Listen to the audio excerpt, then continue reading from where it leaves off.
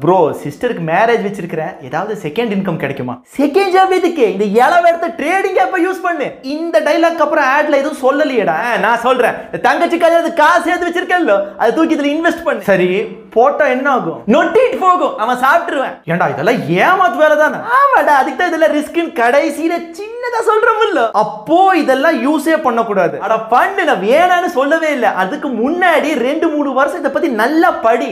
படிச்சதுக்கு அப்புறம் ஆயிரம் ரெண்டாயிரம் சின்ன சின்னதா போட்டு கத்துக்கடா. ஓ அப்படி. அது விட்டு போட்டு ஓ இவனா சொல்லிட்டானப்பா நம்ம செய்யலாம் அப்படின்னு செஞ்ச செஞ்சா? என்ன ஆகும்? உன்ற நாடா வரைக்கும் உருவிட்டு புண்ணாக்கு தவிடு பிஸ்கட் கொடுப்பா